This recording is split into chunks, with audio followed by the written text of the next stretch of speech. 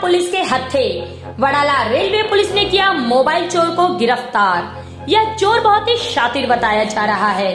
कई दिनों से मुंबई पुलिस की आँखों में धूल झोंक रहा था। बहरहाल, अब यह मोबाइल चोर है पुलिस के शिकंजे में। जिसके चलते वडाला रेलवे पुलिस ने की एक प्रेस कॉन्फ्रेंस, जिसमें उन्होंने मोबाइल चोर के कारनामों का किया पर्दाफाश।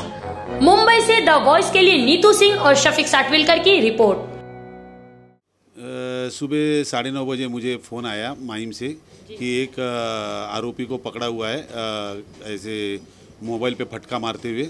तो पकड़ने के बाद मैंने तुरंत मैं मेरे हवलदार पाटिल मंग- मंगेश साड़वी और बाबर ऐसे हम लोग मिलके जीप से हम लोग वहाँ पे माइम स्टेशन गए। तो माइम स्टेशन पे वो आरोपी को पुलिस हवलदार ने पकड़ के रखा था और रखते ही मैंने उनको इंक्वायरी की। तो सोलह तारीख से लेके बीस तारीख तक ऐसे पाँच छः ऑफेंस वहाँ पे रजिस्टर किए गए थे जो कि कंप्लेनेंट ने बताया तो मिलता जुलता वर्णन इनका आरोपी का उससे था।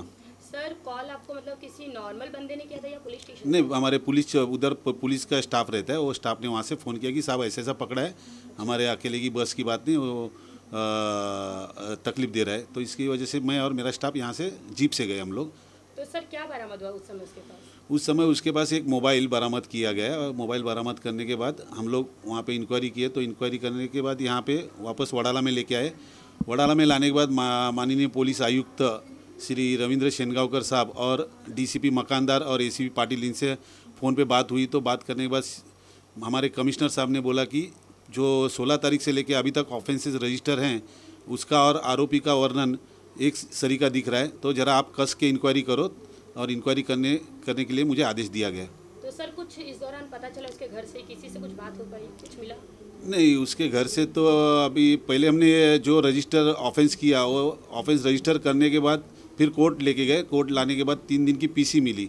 फिर पीसी के इंक्वायरी में पुलिस कस्टडी इंक्वायरी में मालूम पड़ा कि इसने 16 तारीख से लेके 20 तारीख तक जितने ऑफेंस किए थे वो इसी ने किए थे। और एक किंग सर्कल में सुबह साढ़े पाँच सवा पाँच बजे एक लैपटॉप इसने चुराया इंक्वायरी में ऐसे पता चला। तो फिर इसके बाद हम लोग उसके घर पे गए और घर पे जाने के बाद पंचनामा करके लैपटॉप में जो पाँच मोबाइल थे जमा वो हम लोग ने जब्त कर लिया और जब्त करने के बाद वडाला पुलिस स्टेशन में लाके उसको अरेस्ट किया। तो सर अभी आगे की क्या कार्रवाई?